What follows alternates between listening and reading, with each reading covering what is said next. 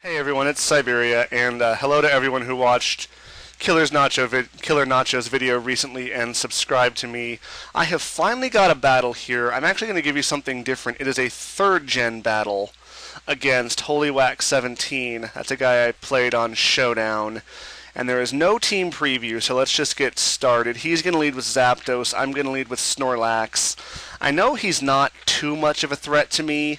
I'm actually hoping I can get a paralysis with the body slam so I don't have to take too much damage. Unfortunately, that doesn't happen, but at the same time, it looks like he doesn't really have anything he wants to switch into me, so he's going to end up dying to my body slam. And he's going to bring in this Claydol here. I'm worried he will just outspeed me and finish me off with Earthquake. So I bring in my Swampert. Instead, he uses Protect, and then he goes for the Toxic, which misses, but it's not a big deal because I have Rest and Sleep Talk on my Swampert, and I can eventually threaten him out with Ice Beam. He goes for the Toxic again. I'm going to go for the Ice Beam again, and it looks like one more may kill him except he's just got protect, so he's going to get some health back. At the same time, though, again, he really doesn't threaten me even if he uses Toxic, so I'm going to stay in and Ice Beam again. Like I said, I do have the Rest Talk, which I think I'm going to go for. No, I actually go for another Ice Beam, and he survives it. Unfortunately, he is faster, so he's going to get the rest off before I actually I go for my own rest. I don't really know why I didn't go for Ice Beam there. Now I know he's going to be asleep, so I'm going to go out to my Gengar. I do not have Shadow Ball because it's a physical move this generation, not special. I do have Ice Punch, which will hit him well enough, but instead I go for the Will-O-Wisp predicting the switch and he does switch to Jirachi. Unfortunately, I miss. And then I miss again as he takes me out with Psychic. I don't know what I was thinking. I guess I was thinking I could survive it, but I should have just gone out to Swampert, which I do now. And like I said, I do have the rest talk, but I don't get an Ice Beam. So there's an Ice Beam. Unfortunately, it looks like it's just going to not do enough to 3-hit KO him after leftovers. And he's just going to do this annoying shit with Protect and get his health back. So at this point, he's going to Toxic me, and I'm just going to keep Ice Beaming because he still does not threaten me. Swampert's pretty much not going to die to anything this generation because grass moves were really uncommon. So we're just going to go back and forth. He's eventually going to switch out to his Suicune. I'm going to go for the Ice Beam. I don't get the freeze, but this thing is really, really scary. I, in hindsight, I should have just gone out to Salamence and started Dragon Dancing on him, but I didn't know if he was going to have Ice Beam, so I go out to Jirachi instead.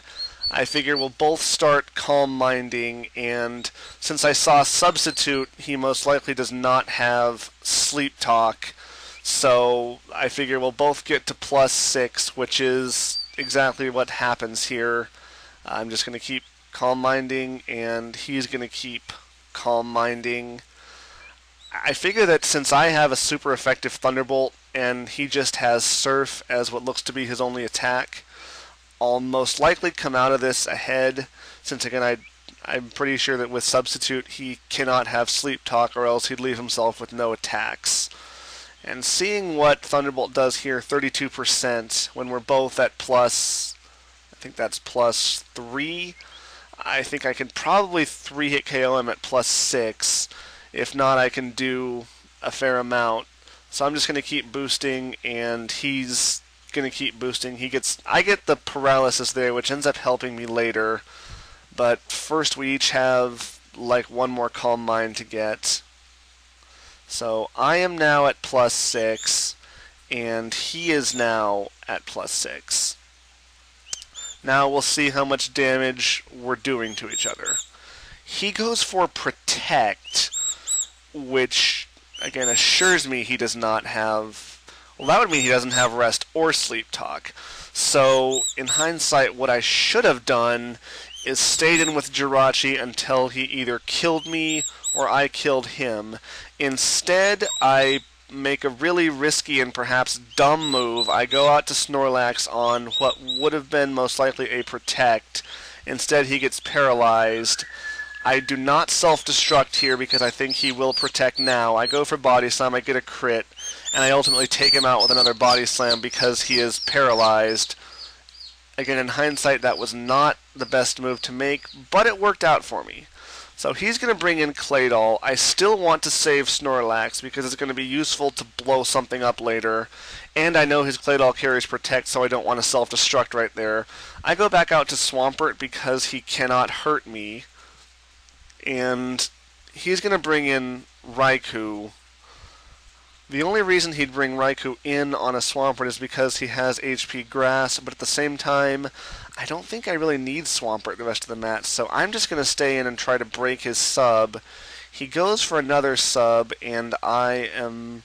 Luckily, actually, no, I do not sleep talk another Earthquake. I sleep talk a rest.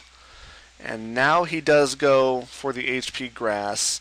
I've used up my two turns of sleep, though, so I'm going to get an Earthquake off. I'm going to break his sub. And now that I know he's not carrying HP Ice, I feel safe going out to Salamence on his HP Grass. And from here, I figure I should be able to set up a Dragon Dance. That'll probably be enough to take out the Claydol. If not, I can try to get another Dragon Dance while he protects.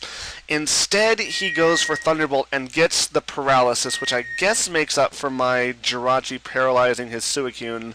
But at the same time, it's incredibly frustrating because that means my Salamence is useless for the rest of the match, so I'm just going to let it die.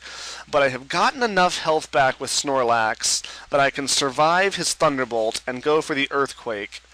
At least that's what I... No, I, I don't do that at all. I actually predict him to switch back into Claydol and go for the Body Slam. And at this point, I know even if he Toxics me, I can eventually take him out either with Body Slam or Self-Destruct. I go for the Body Slam, I get a crit, and that does take out the Claydol. And the rest of his team at this point is the Jirachi, Alakazam, and Raikou. I'm pretty sure even if Snorlax dies, I can sweep the rest of his team with Choice Banded Earthquake from Aerodactyl. Instead, though, he survives my I'm, sorry, I survive his Psychic from Alakazam. I kill it with a Body Slam. I then survive a Thunderbolt from his Jirachi, and I, I'm sorry, from his Raikou, and then I kill that too. And it's just Jirachi against Snorlax. He goes for the Fire Punch. I don't know why he did that, because Psychic would have taken me out but at the same time it doesn't matter because I have Snorlax, which can kill Jirachi, I have Swampert, which can kill Jirachi, and I have this Aerodactyl, which can kill Jirachi. So I'm just going to bring it in. I know it outspeeds. I go for the Earthquake, I get the useless crit, and I do take out the Jirachi. So thanks for watching. Rate, comment, sub. Let me know if you want to see any other uh, previous gen battles, and I will try to accommodate that. But thank you for watching. Rate, comment, sub, and have a nice day.